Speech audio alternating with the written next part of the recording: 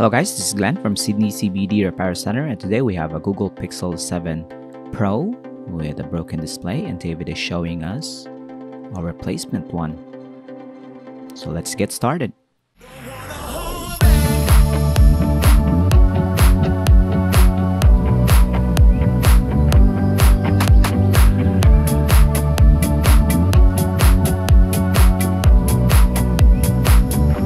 First thing we're gonna do is try to remove the broken display before we can use that gorgeous replacement display that we have for this Pixel 7 Pro. And Google Pixel's open from the front, so we're gonna go straight into the damaged area, damaged component, and see what we can do from there. Actually, we know what we're gonna do. We're gonna remove it by removing its connector right there. So you open it, lift it uh, at, at least 90 degrees up on the left side and remove this retaining clip. It's gonna be hard, but David is gonna prevail. We're gonna remove this, lift it up, and this replacement display will be put on the side. We're not gonna throw that yet because we have to remove the fingerprint scanner underneath the defective screen. This is what I'm talking about. It's gonna be the trickiest part of this repair because it's very delicate and of course it's very thin so you can damage that and your Pixel 7 Pro will have no fingerprint scanner feature.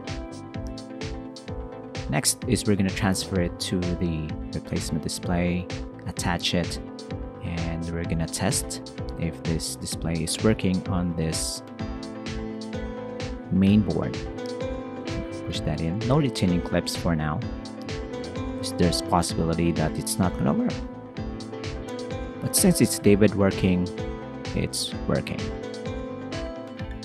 smartphone looking good, display very responsive, camera systems all working, all the buttons, that's David there. It's kind of excited to do this repair.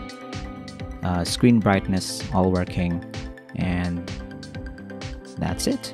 You can uh, test if the fingerprint scanner is working and it's also working as intended.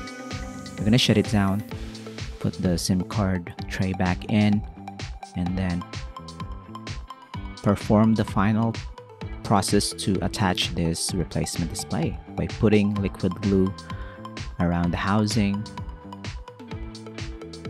and just avoiding the camera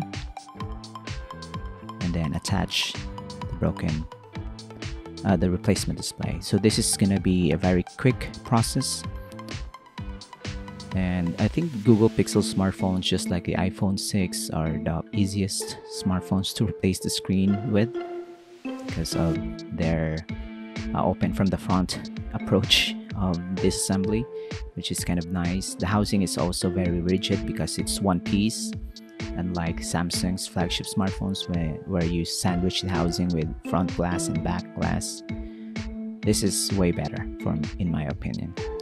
So if you have any questions, if you want the same repair, you can head on to our website, sydneycbd.repair. And follow us on YouTube and Facebook. This is going to be the before and after. Look at that. See. We'll see you again next time, guys. Cheers. If you want your smartphone fixed for a very reasonable price, you may contact Sydney CBD Repair Center. We also provide mail in repair services for customers outside of Australia or Sydney. Just message us so we can arrange the shipping of your device.